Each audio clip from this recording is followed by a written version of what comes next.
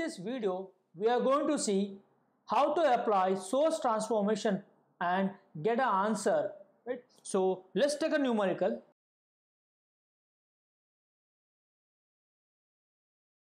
So in a problem, it is 3 ampere, 6 ohm, 3 ohm, this is 2 ohm and this battery is of 10 volt. The objective is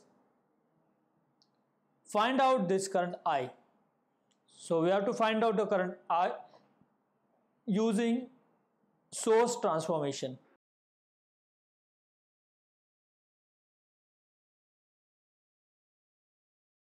Now, two things I would like to make you clear.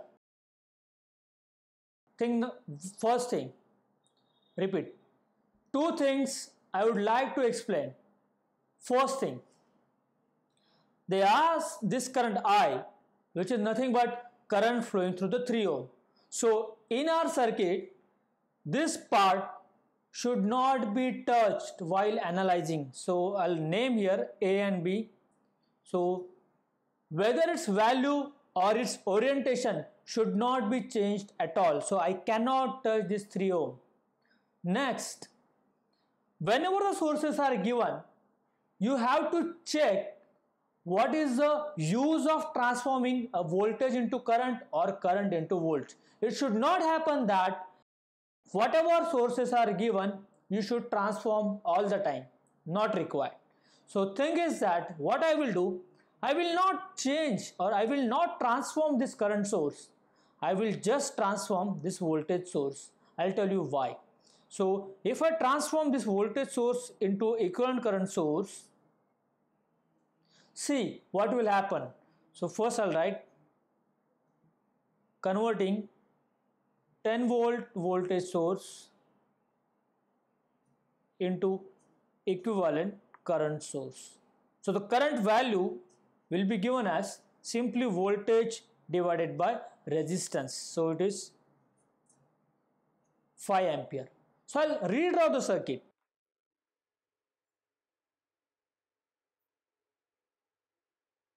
So 10 volt coming in series with 2 ohm earlier whenever I transform that into equivalent current source 2 ohm will come in parallel with the current source. This is untouched 2 ohm coming in parallel and 10 divided by 2 is a 5 ampere current source I will get. Remember I am not touching this part because I want this current I.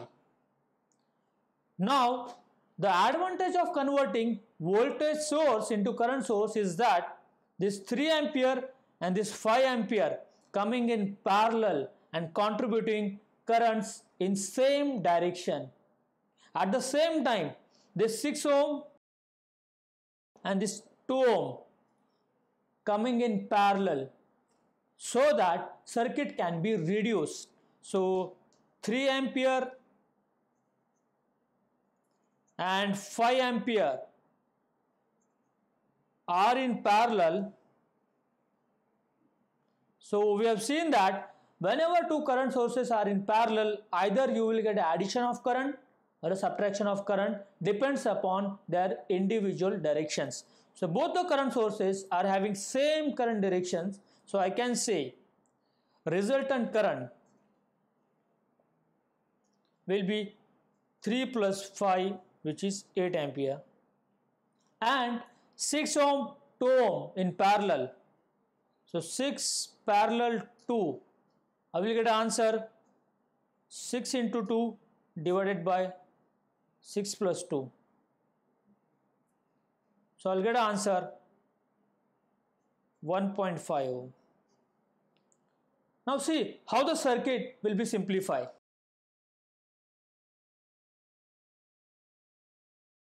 This current source will have the value 8 ampere. This equivalent resistance will have the value 1.5 ohm and 3 ohm that I have not touched because I want to find out this current I. Now here you have a choice.